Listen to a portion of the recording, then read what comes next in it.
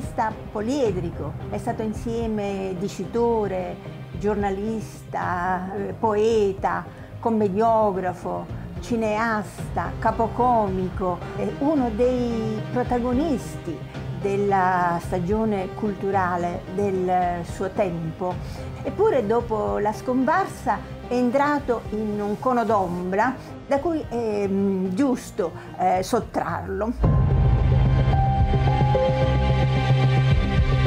Allora, Nino Mortoglio nasce a Belpasso il 3 dicembre del 1870. Nasce nel quartiere del Purgatorio, eh, nella casa che fu di Rosario Pappalardo.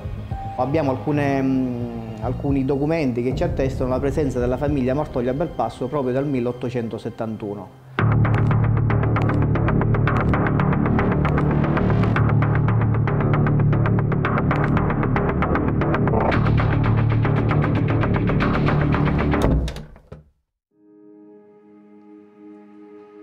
Martoglio è, potremmo dire, un regista che comincia il mestiere della regia quando ancora non c'è nemmeno il termine. Il regista con Martoglio comincia a diventare il vero e proprio autore dello spettacolo. L'avvento del cinematografo suscitò tra gli intellettuali una reazione fondamentalmente negativa.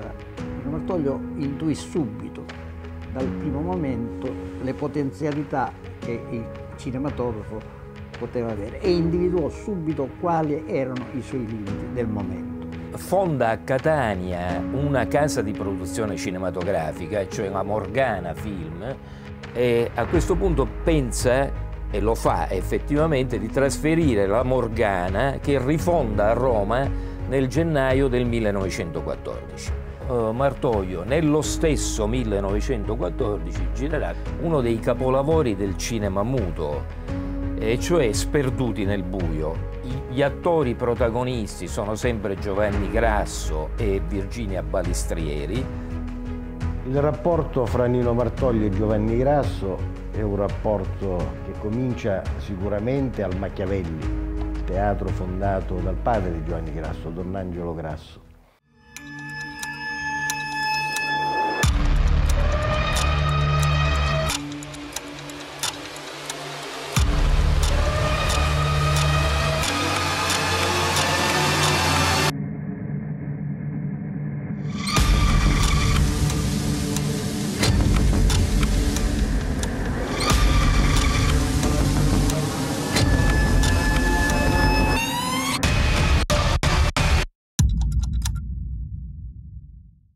Nel 2018 il mio gruppo teatrale, Fabbrica Teatro, ha dovuto intestarsi una ricerca documentale che nel giro di poco tempo ha prodotto il rinvenimento del fascicolo delle indagini preliminari che fu svolto al, nei primi giorni, ai primissimi giorni immediatamente dopo il delitto.